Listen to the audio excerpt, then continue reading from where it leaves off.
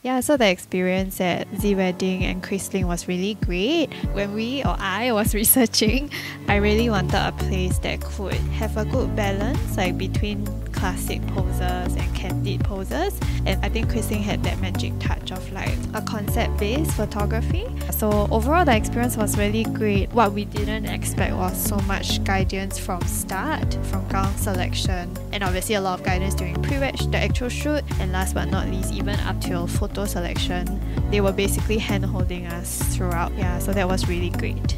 I was really worried about the makeup when I was doing my research because I think it's very common for the makeup to be stronger and that was something that I and he didn't really like as well. Like we wanted it to look as natural as possible. So when we met Amber, she was able to assure us on that. She showed us her portfolio as well obviously and even then I still had a bit of worries to be very honest but during the actual day itself she delivered and we also got her to follow us throughout the shoot so that was really great. And then for gown selection, Michelle was the one who helped us out. I think what we really liked was that she wasn't afraid to give like candid advice on what looked good and what didn't look good on me. But at the same time, she was also really great in terms of giving us enough comfort and space to let us discuss and make the decision ourselves. So that was what we really liked. Usually for guys, I think the worry is that we think we are like the background and not really important, not part of the story. But I think the whole experience with the wedding as well as Chris Ling was actually guys also very important about the whole picture and everything.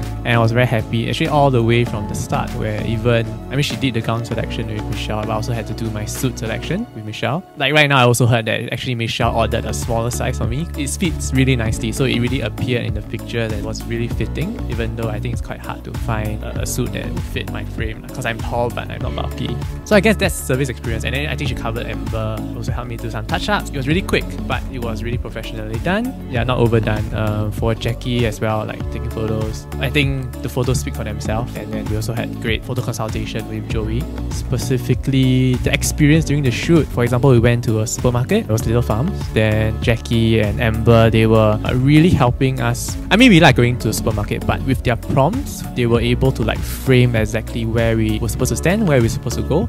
They asked very simple questions. Okay, what do you like to shop? And then we'll just say, okay, uh, she loves chocolate. So they brought us to the chocolate corner. And the reason why we with Chris Ling is because we love the concept that you're able to tell the stories through the albums, right? So Jackie and Amber were able to take us through the whole process without us having to think too much. So we could just be focused on being relaxed for the day. So in terms of the storyboard, I think just to share a little bit, we started off with like a Peranakan outfit.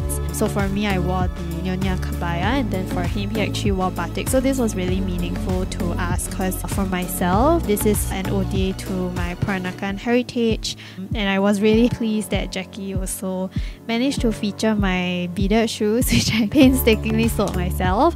Uh, and then for him, he actually wore the batik shirt, which is also in some ways an ode to his Indonesian Chinese background. So that was the first bit. And then thereafter, we so he mentioned we went to little farms and supermarket shopping or supermarket window shopping specifically is a big part of our life and a lot of our dates as well, um, both locally and overseas. And we also wanted like something classic, right, with the gown because it's a wedding shoot after all. And we actually went to Botanic. So I think what we were really shocked is when Jackie's uh, proposed the location to us, we looked at the photos and we asked him, is this in Singapore? So clearly we don't know our country well enough, but we were really pleased with the photos. And throughout both Jackie's and Amber, he mentioned that they gave us very specific prompts, but they also kept us engaged throughout so that it's not like a one, two, three smile. I think we would have been horribly awkward if we did that. So the specific prompts were important, but at the same time, they kept us really comfortable. So the photos that came out looked really natural, and we were very happy with the result.